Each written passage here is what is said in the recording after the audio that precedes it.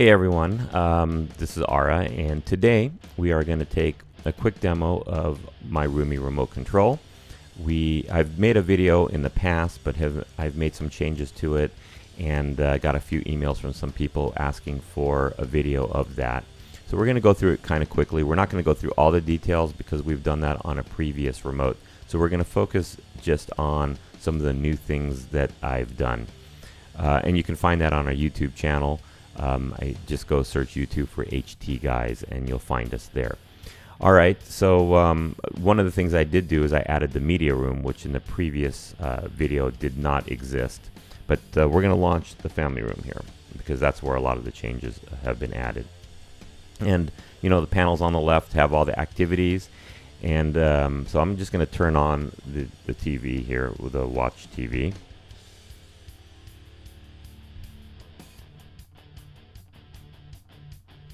And uh, everything comes to life. The television turns on. We're on channel 7 here. You can see ABC. Uh, it's a really cool remote. It has a lot of, uh, it has more information than your typical remote. If you got a two-way um, receiver and uh, say a satellite box, you'll get the information on what you're watching, which is down here.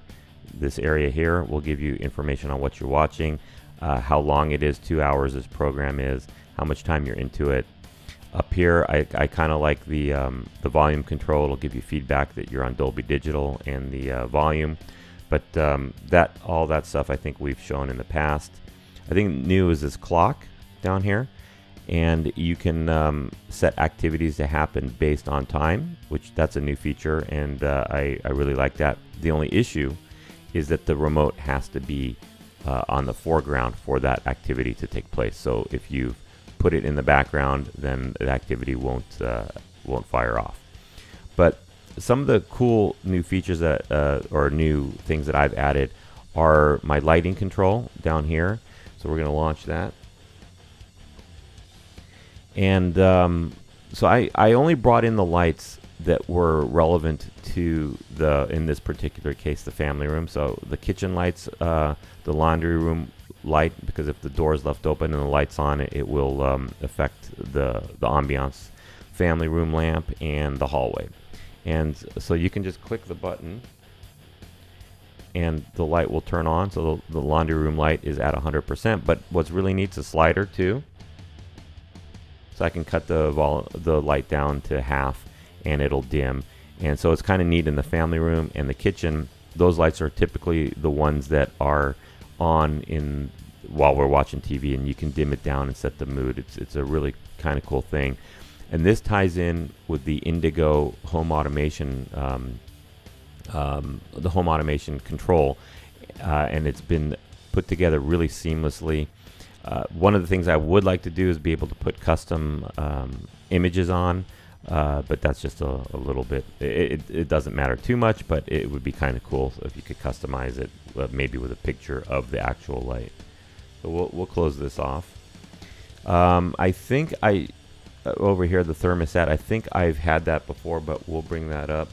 And what that does is it I've using this feature in OS 10. It's called um, URL control. So I've launched the application for Indigo, and I've set up a control page for thermostat, and there it is. so I can I can set the temperature higher or lower. And then when I'm done, I can click on this button down here, which will bring me back to my Roomie remote control. So that way you don't have to go out of the control, you know, out of the remote and then search for the app. And it's a little, while it's not exactly embedded within there, it is um, uh, it is a nice way to, to do that without a major headache. The other thing, which is um, which is cool, which is coming up in uh, the version three, is they are going to have embedded thermostat control. So I won't even have to exit. I'll be able to press that button, and the controls for the thermostat will just pop up. Uh, let's see what else do I have here. Uh, I have let's see the Apple remote and that just launches the Apple remote because once in a while the Apple remote is um, uh, it has a little bit more functionality than the IR control that that uh, the Roomie has with the Apple TV, and then I can select what I need to do with the Apple remote on the device and and do the control. Uh, a little bit of a hint here coming up on OS. In, I'm sorry, in the version three of Roomie, they will have embedded Apple I, IP control, so I won't even have to do this here in the future. But this is what I was telling you. It will launch the remote, but there's no way to get back from the remote, so I actually have to click the button to go to the home page, and then and then hit the remote control. All right, so um, we're going to leave this. We'll turn everything off.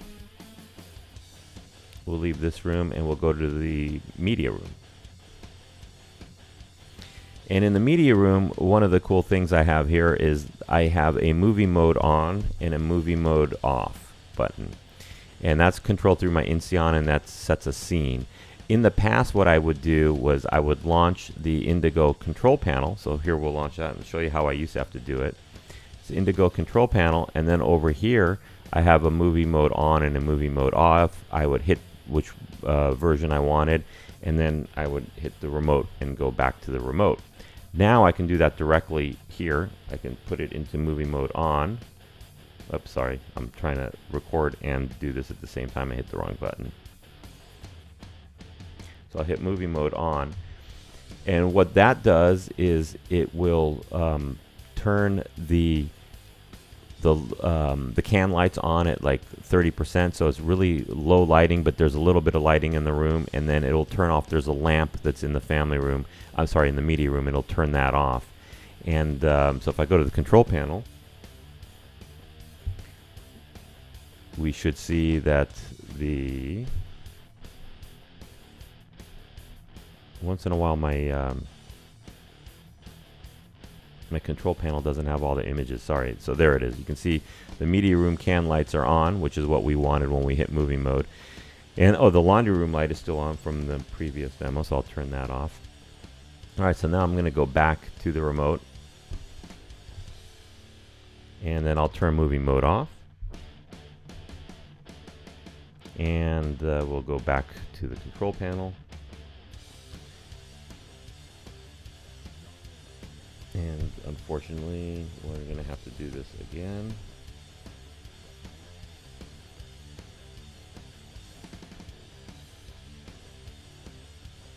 I don't know why that's been an issue with my um, Indigo lately, that uh, some of the images don't fill in.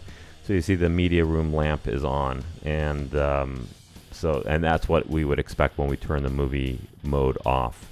The only problem, this is my programming issue, is that if you do it in the daytime, when the lamp was not on to begin with, it turns it on. But so we'll just turn it off manually there, and we go back. And uh, so also I have um, um, again from this room I have control of the uh, thermostat, and also have the lights that are within reach of this area. So I have the media room lights, the media room can, and I have security lights that will turn on uh, in the house if there's a motion sensor that gets tripped and then I can just turn them off from here so I don't have to, uh, you know, uh, go upstairs and hit a button or anything like that. So that's that's the control. Um, again, if you want to see more of how the remote itself works, you can go look at the previous video we did. This was more a video about how we've done home automation. This is my master bedroom. Um, you can see up at the top up here, there are no um, I don't hit, get any feedback from my receiver, so that is controlled via IR, and all I can do is volume up or volume down, and I can mute it, but uh, beyond that, there's not much I can do. Same sort of thing here. We're on the left side here. I've got thermostat control, my home automation control panel, um, and then I've got I've created this uh, DVR control here, so I can set the DVR to go to sleep after 30 minutes. I have a button on that. I did that with uh, Indigo a while ago, and um, the reason is I've created a um, timers down here. This sets the television to time off after 60 minutes. This sets the um, the um, uh, receiver to time off after 60 minutes, and then with the DVR control, I, have got a button there that sets the DVR to time off after 60 minutes.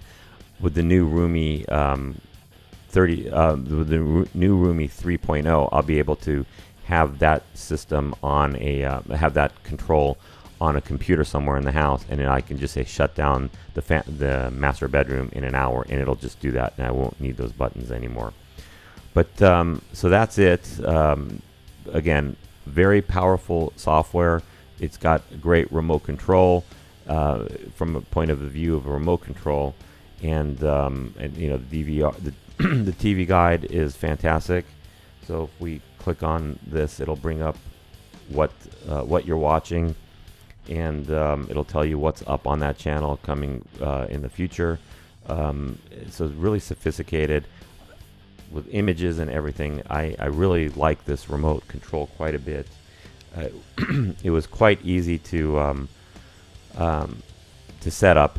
Easy for me, I guess. So, but for most people, it shouldn't be. Uh, it, it's not terribly difficult. Let's put it that way. And there's a lot of great support uh, at RoomieRemote.com.